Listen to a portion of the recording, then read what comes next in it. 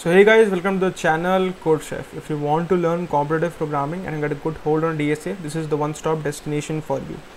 Here we bring video tutorials for each of the uh, CodeChef contests as well as various content which will enhance your skills on data structures and algorithm. So if you're new to the channel, then do subscribe the channel and turn on the bell notification. So myself Shirayu Jain, I'm the CodeChef educator and in this video we're going to study about Dijkstra's algorithm in the series of shortest path algorithms. Okay guys, so now let us begin our understanding on the Dijkstra's algorithm, right? So this algorithm we use, there are various variants of this algorithm, but the major one is to find the shortest path from the source to vertex, right? So we select one source and we select one destination and we need to find what is the shortest path between that source and the destination. So let us take this example. This is a graph, right? And this is a weighted graph and let us assume that we are taking the source as this node and to each and other node except this node we need to find that what is the minimum distance or what is the minimum weight that we can have to reach from this particular node to any other node right? So if you want to know that from this node 0 if we want to go to 1 then what is the minimum distance required or minimum weight required right if we want to go from this 0 to 3 what is the minimum weight required right? Similarly from 0 to 2 as well. So this algorithm helps us to find that. So if we see that if we go from 0 to 1 what options do we have? We can go from 0 to 1 directly also right? Using this particular edge with the weight 2 right? So the options are we can go with the weight 2 right? We can go via this as well 0 to 3 3 to 1 right? So what is the weight required? That is 12 right we can go to like this also 0 to 2 2 to 3 3 to 1 right? So what is the weight required? That is 6 plus 4 plus 3 that is 13 right? So there are many possible ways right? 0 0 to 2 2 to 1 right? This is also one way. So there are many possible ways to go from uh, this source vertex to this destination vertex right? So but we need to find that what is the minimum weighted path right? So only this edge considering this edge only we can go with the minimum weight that is 2 so th this will be the answer so what will be the minimum weight or minimum distance that we can travel from this source? And if we are taking this as the destination is 2 right? The answer is 2 so if we are taking 0 to 3 right? 0 to 3 so one possible way right? One direct edge is 9 but is this the minimum possible weight? No right? We can go from 0 to 1 and 1 to 3 as well. So what will be the weight in that case? 2 plus 3 right? Because this is 1 and this is 1 right? So 2 plus 3 that will be equal to 5 right? So this is another way right? And there are many possible ways right? 0 to 2 2 to 3 right? This is also one way. What is the weight in that case? That is 4 plus 6 10 so what is the minimum weight that we have? That is 5 right? Considering this.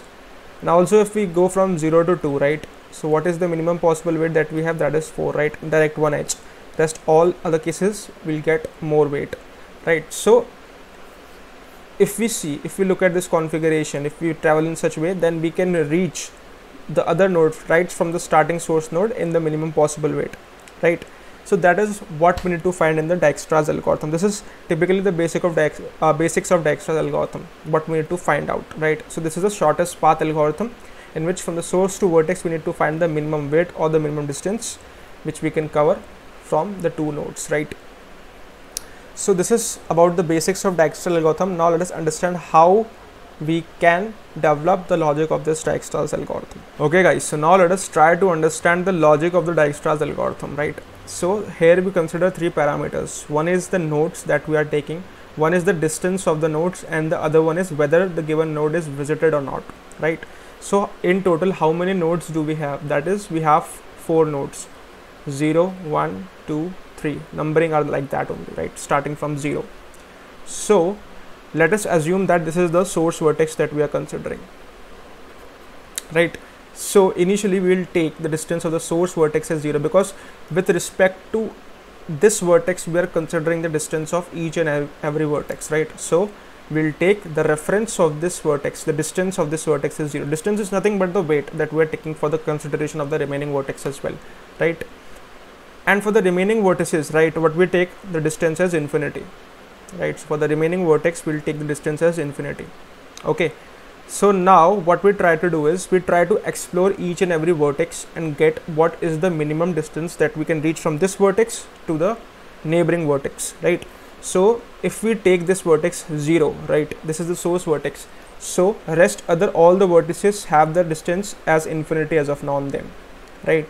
So if we go from 0 to this vertex what will be the weight associated? What will be the distance right? So that is the weight on this vertex that is 0 on the 0 zeroth vertex plus the distance that we covered in the edge right? That is 2 so 0 plus 2 is 2 right? So to reach from 0 to 2 to 1 what is the distance that we are covering? That is 2 right? And on 1 what distance do we have right? If it is if the distance that we are covering is less than the distance that we already have on 1 that means we will modify it because we have found one way which will cost us less right? So as of now we have infinity right? So what we'll do we'll update it. We'll update this as 2 we'll update this as 2 so here also we'll mark it as 2 this is one neighboring vertex. What is the case in other one. Other one also have the weight infinity and if we take this edge right because this is the neighboring vertex of 0 as well.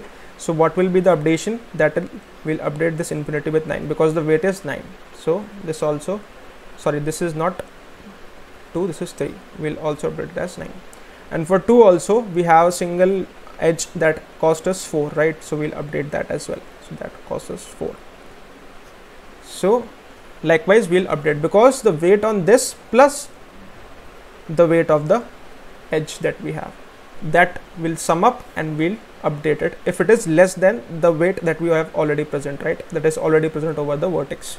Now we have explored this 0 right? We have explored all the neighbors of it 0 so what we will do we'll mark this as visited. This is visited now right? We'll will not touch this vertex now. This is already visited.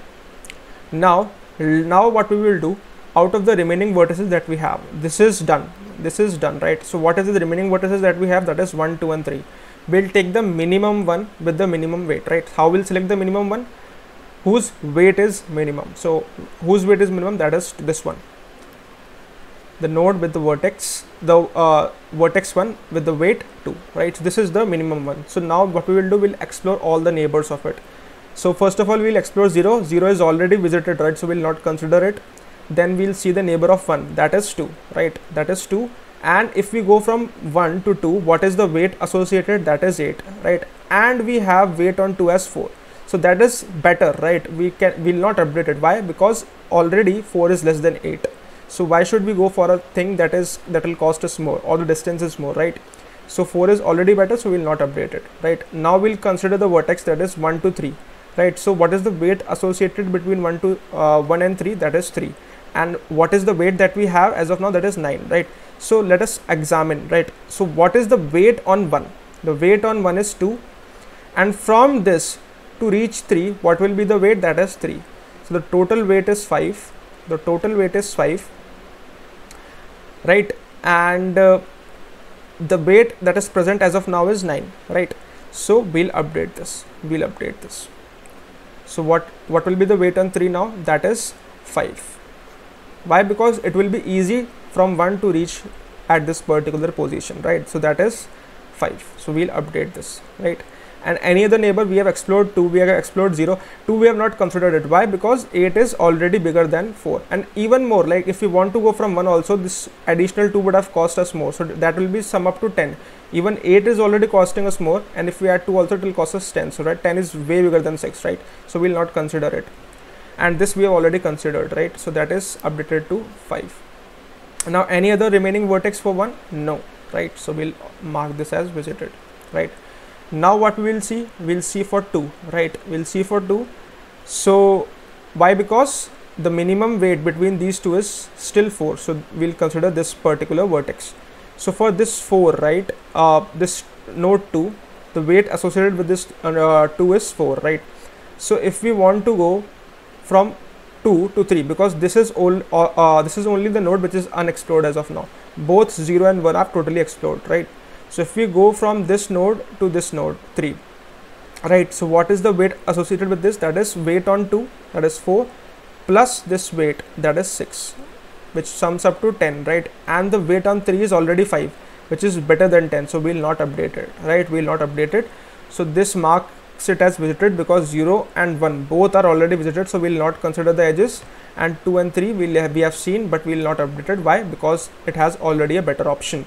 Right? So this is also visited. For 3 there is no option left because 0 1 and 2 are already visited so there is no option left for 3 hence we'll mark it as visited. And we got that what are the best options that we have to reach from this source to any other source right? So from 0 we have to reach to 1 right we have a weight of 2 from 0 to reach to 2 we have a weight of 4 right we got it from 0 to 3 we have a weight of 5 not this word not this edge but from 0 to 1 and 1 to 3 we have a better option that is 5 right so you can see that this is the practical thing of Dijkstra's algorithm. This is how we'll construct it. This is what the basic theory is. We'll provide some uh, uh, what we can say better approaches for this. Like we can how we'll code it because again and again we need to find the minimum node, right? We have some optimizations with related to that. We'll see that in the coding part of the video. But this is what the basic logic of Dijkstra's algorithm is, and this is what you need to understand prior to the coding part of the Dijkstra's algorithm.